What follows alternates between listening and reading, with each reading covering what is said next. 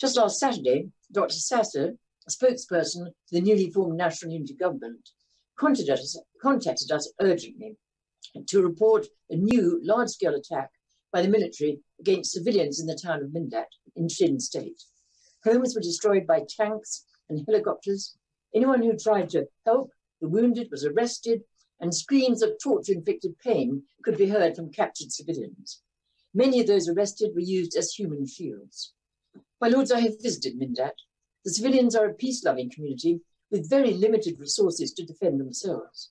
Given that their plight is expected to worsen in the coming days, I hope the noble Lord the Minister will agree that measures by Her Majesty's government will include urgent help with protection and provision of cross-border aid, engaging directly with local leaders and NGOs, because aid delivered to Yangon does not reach vulnerable people. I turn briefly to Armenia, an historically Armenian enclave of Nagorno-Karabakh, where civilians recently suffered large-scale military offences by Azerbaijan, aided by Turkey, with thousands of deaths and tens of thousands of civilians driven from their homes. I visited Karabakh during that war and witnessed perpetration of war crimes by Azerbaijan, deliberate bombing of civilian targets, including the hospital in Stepanakert. However, Despite a ceasefire in November, there are at least four urgent concerns which Her Majesty's government, unlike the governments of France, the United States, and Canada, Her Majesty's government has failed adequately to address.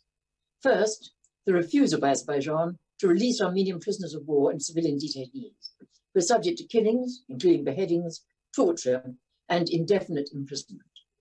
During a meeting with victims' families in November, I was told that Azeri perpetrators sometimes send pictures of the torture and slaughter of Armenian soldiers on their own phones back to their families. I sat with some of these families, dreading what might come on their phones. Secondly, there are serious concerns over the fate of hundreds of Armenian Christian monuments and cultural heritage sites now under Azerbaijan's control. There's already been footage of the jubilant destruction of a church by Azeri soldiers. And between 1997 and 2006, an estimated 28,000 Christian monuments were destroyed by Azerbaijan in the previously Armenian land on of Nakhchivan. Thirdly, anti-Armenian rhetoric or Armenophobia by the Azeri president, other officials, and across social media. That has escalated, naming Armenians as pigs, dogs, and brainless. This hatred has also generated the creation of a spoils of war park in Baku, which displays mocking, humiliating mannequins of Armenian soldiers the children encouraged to hit them, and a corridor lined with the helmets of dead Armenian soldiers. And fourthly, recently and very disturbingly, Azerbaijan forces have advanced into new positions along the Armenian-Azerbaijan border, away from the conflict zone, and occupied the sovereign territory of Armenia itself.